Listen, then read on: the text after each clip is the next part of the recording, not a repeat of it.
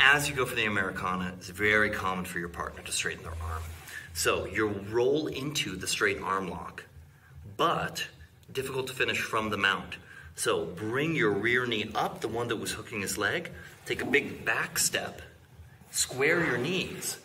Okay, now we have a solid base and can extend by rolling our wrists up into the straight arm lock. If he rolls his wrist down one more time, lift, get that arm underneath, and now we have a Kimura, which we can then extend into submission.